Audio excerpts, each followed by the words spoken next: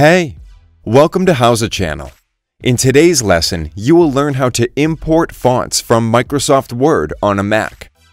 Open Safari web browser. Paste the link you can find in the description box below.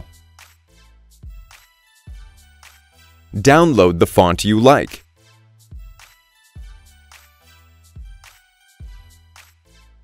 Go to the Downloads folder and open the font file. Click on Install Font at the bottom right corner. Resize the window and drop the font file into one of the folders under Collection. Launch Microsoft Word. Click on the Fonts list. Select From Collection and the folder you used. Choose the font and enjoy. That's it. Thanks for watching the video. Please like it and let us know if you use any of our tips and tricks.